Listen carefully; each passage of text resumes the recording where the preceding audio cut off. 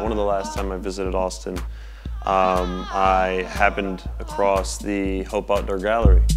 I was just struck by the amount of art that I saw, the amount of people kind of, you know, it seemed to corral around this place. It seemed like it was a real hub. You know, I immediately called DJ and was like, wow, man, we gotta do something with this place. So I just did some research and found Andy. Just a simple conversation and some ideas to, you know, almost a year later when we were invited down, you know, finally we put this proposal together to build a wall out of a thousand recycled spray cans on site.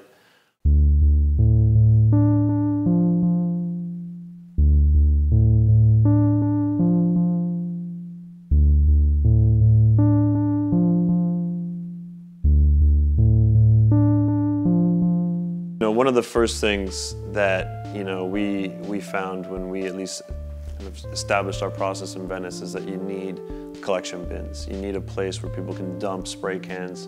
And so the first thing we had to do was organize, you know, with the help of Spray TX, just collect these thousands of cans through all the artists. When you're working with, you know, the right people and that are capable and, and you know, and willing to kind of put the time and effort, yeah, I mean, it's amazing what you can, what you can create.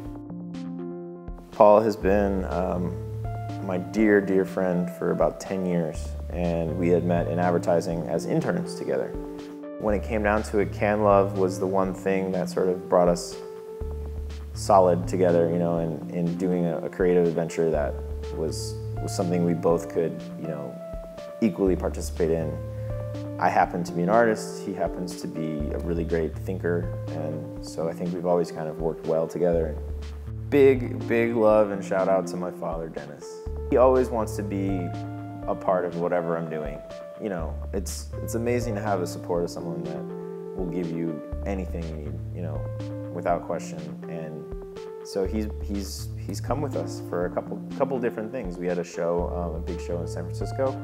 He was there helping set up. My mom too, uh, but my dad I think is the kind of guy who's like, you're going to Montreal? I'll, I'm coming to Montreal. And he just, he comes, he flies out, came, flew out to Austin, and you know, broken arm and everything. He was, he was in it to win it. He wanted to help, you know.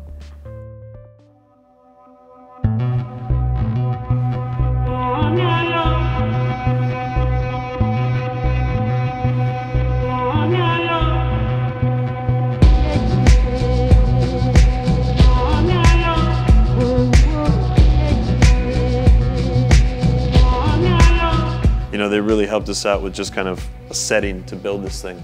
And then with the help of Art Seen Alliance, who built the actual structure of the fencing um, and installed it for us on site, we were able to, after we put the panels together, just simply go and install the panels on the fence posts that were already there for us.